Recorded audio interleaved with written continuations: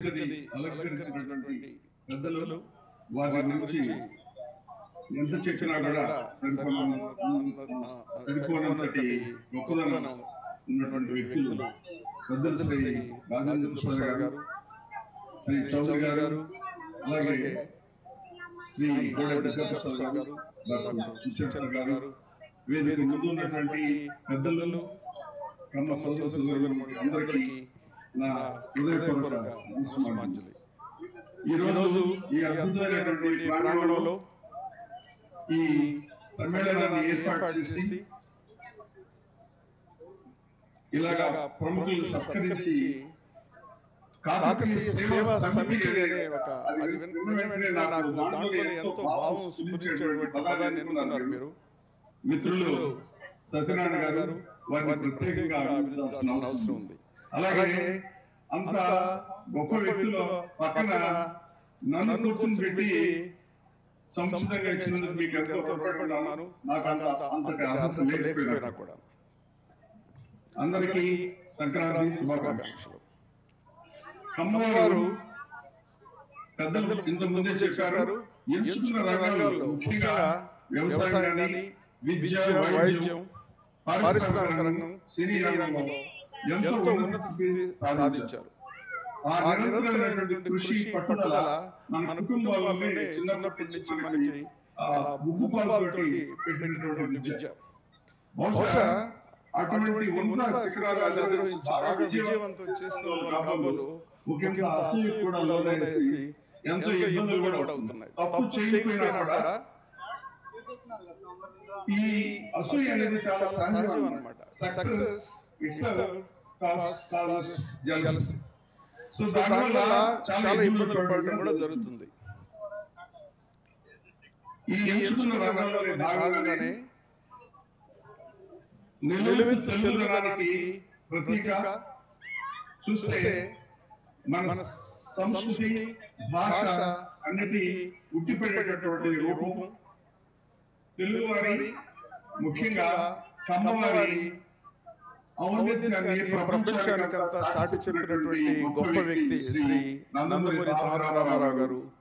పంతొమ్మిది వందల ఎనభై తొమ్మిదిలో ఒక క్యాన్సర్ హాస్పిటల్ని స్థాపించారు. కొంతమంది ఉదాహరణ ఇచ్చినటువంటి దాతృత్వంతో ప్రవాసాంధ్రులతో కలిపి అది క్రమేపీ చిన్న హాస్పిటల్ నుంచి రూపుదిద్దుకొని ఇవాళ భారతదేశంలో ఉన్నటువంటి నాలుగు ఐదు పెద్ద హాస్పిటల్లో నిలిచింది. కొన్ని విషయాల్లో అయితే దాదాపు రెండవ స్థానం. ఆక్రమించేంత ఉన్నతమైనటువంటి స్థితికి చేరింది. అక్కడ ఎటువంటి విచక్షణ లేకుండా లాభాపేక్ష లేకుండా ఎవరికి కూడా ఈ క్యాన్సర్ రోగులకి తిరస్కరణ లేకుండా వైద్యం చేయడం జరుగుతుంది. క్యాన్సర్ అనేది రోగిని కృషింపజేస్తే దానికి చేసే వైద్యం కుటుంబాన్ని కృషింపజేస్తుంది ఇవాళ క్యాన్సర్ చాలా ఖరీదైనటువంటి వైద్యం. ముఖ్యంగా కార్పొరేట్ హాస్పిటల్ వెళ్ళినట్టయితే ఎమోషనల్ ఇష్యూ వల్ల పిల్లలు ఎంత ఖర్చైనా ఖర్చు పెట్టేసి ఆర్థికంగా చచ్చిపోవడం జరుగుతుంది. దాన్ని ముఖ్యంగా తీసుకొని ఇవాళ బాగా నిరుపేదలకి రకరకాల ప్రభుత్వ స్కీములు ఉన్నాయి. ధనవంతులకి డబ్బు విషయంలో కాబట్టి బాగా ఇబ్బంది పడేవాళ్ళు మధ్య తరగతి దిగువ మధ్య తరగతి పెద్ద సమస్యగా తయారైంది. కాబట్టి ఈ ఆసుపత్రి ప్రత్యేకించి వాళ్ళ కోసం అనేది ఒక ఉదాత్తమైనటువంటి భావన ఉంది. పెద్దలు మురళీమోహన్ గారు దుర్గా ప్రసాద్ గారు వారు చాలా ప్రేమపూర్వకమైనటువంటి ఆశీస్సులు అందించారు నాకు. దీంతో ఇంకా బలంగా దీనికి సేవ చేయాలనేటువంటి ఆకాంక్షలలో ఎక్కువగా కలిగి దీన్ని ఇంకా ముందుకు తీసుకెళ్ళాలనుకుంటున్నాం ఇప్పటికే ఈ సంస్థలో చాలా చాలా ఆ, అధునాతనమైనటువంటి వైద్య పరికరాలు కానీ వైద్య విధానాలు కానీ వైద్య నిపుణులు కానీ ఉన్నారనేది చాలా మందికి తెలియదు. అక్కడ ఉన్నటువంటి కొత్త కొత్త టెక్నాలజీస్ అన్ని కూడా ఎప్పటికప్పుడు అందిపుచ్చుకొని అత్యంత ఆధునికమైనటువంటి వైద్యాన్ని తక్కువ ఖర్చులో అందించడానికి ఎప్పుడు కృషి చేస్తూ ఉంటాం.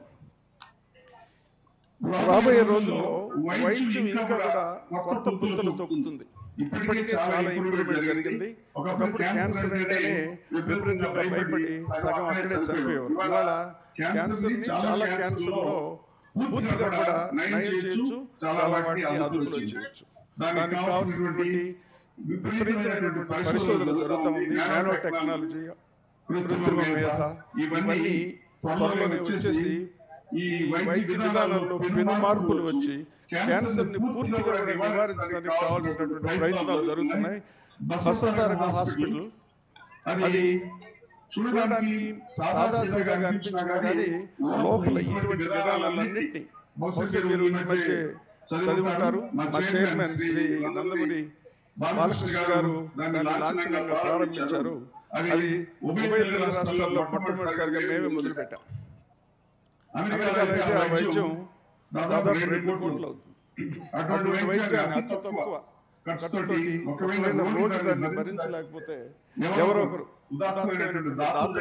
అప్పీల్ పెట్టి ఆ డబ్బు తీసుకొచ్చి దానికి ట్రీట్మెంట్ ఇచ్చేటువంటి కొత్త పద్ధతులు. అంటే ఒక క్యాన్సర్ కణం అదుపులో లేకుండా విపరీతంగా పెరుగుదల ఉంటుంది దానికి కీమోథెరపీ ఇస్తున్నారు ఇప్పుడున్నటువంటి టెక్నాలజీలో రోగి శరీరంలో ఉన్నటువంటి తెల్ల రక్త కణాన్ని సపరేట్ చేసి ల్యాబొరేటరీలో వాటిని ప్రోగ్రామ్ చేసి కావలసినటువంటి స్టిమ్యులస్ ఇచ్చి అదే తెల్ల రక్త రోగిలో ప్రవేశపెట్టినట్టయితే అవి క్యాన్సర్ చేసే పరిజ్ఞానం ఉంది. అది ఈ మధ్య ప్రారంభించాం. ఇలాగ చెప్పకపోతే చాలా ఉన్నాయి.